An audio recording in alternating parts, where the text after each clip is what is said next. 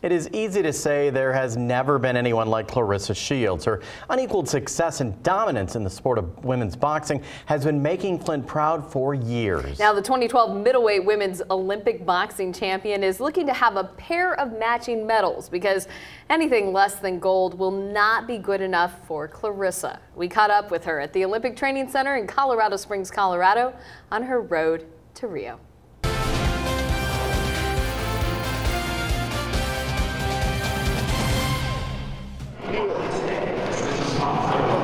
For Claressa Shields, each step with purpose. Good, go. I got trained. I got to stay on top. Now sprint, sprint, sprint, sprint. It's not that easy. One step, Claressa, one step. I make it look easy. It's what up to 12 hours a day of training does. I've spent a lot of time here in this gym and a lot of time in strength and conditioning. Here we go. As she prepares to reach new heights. She was just 11 when she first threw a punch at Flint's Berston Fieldhouse. 17 when she traveled from Flint to London to become the first American woman to win an Olympic gold medal as a 165 pound middleweight in boxing. It was the sport's inaugural year at the Olympics. You know, it means a lot. I've always wanted to be the person to bring hope and to bring faith to Flint.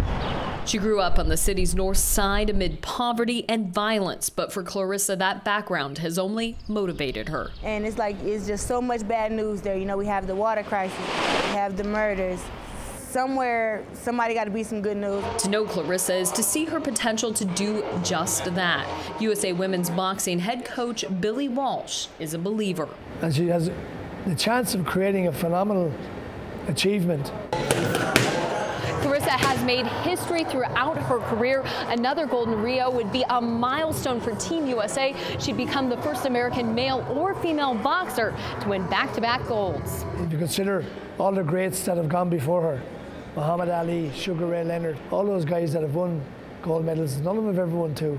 Claressa says keeping on course is easier as a resident athlete at the Olympic Training Center in Colorado Springs, Colorado. It's like really relaxing knowing that all I got to think about down here is training, sleeping, uh, recovering, and boxing, and that's it. Your feet before you throw. All right, don't put this, get into your fighting stance. Throwing everything into boxing works for Claressa. She hasn't lost a match since the 2012 World Championships, her only loss ever. She's an animal when she's in there. Right now, I feel very confident. I feel very strong. Thankfully, with boxing and with Claressa, she goes there to win the gold. While she came back with gold in 2012, the endorsements and recognition she expected didn't follow. But heading into the 2016 games, her stock is rising fast. If the boxing gym is no place for a girl, then what does a girl's place look like?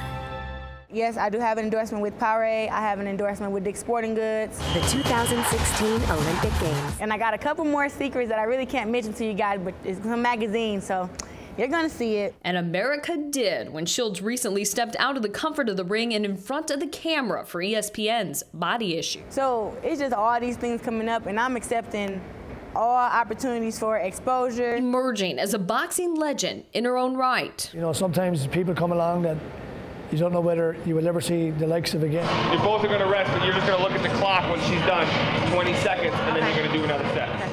And as the clock ticks down, she does believe she is the best in the world and that nobody will beat her. Making the next step on Claressa's road to Rio.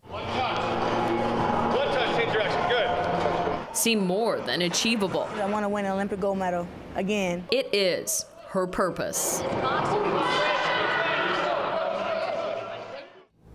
Well, Claressa, determined in the ring. She's also determined for her life after the Olympics. She says she wants to go to college and become an actress. Well, it's very exciting, and the opening ceremonies will be exciting just one day away. Be sure to join the NBC 25 team as we give you a daily recap of the Rio Olympics. Our Olympic Zone coverage begins tomorrow night and airs Monday through Saturday at 7.30 p.m. right here on NBC 25.